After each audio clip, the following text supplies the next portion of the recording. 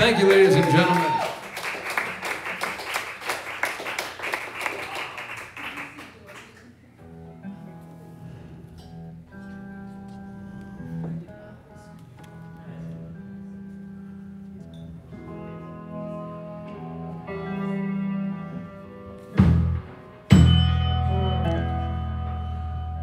thank you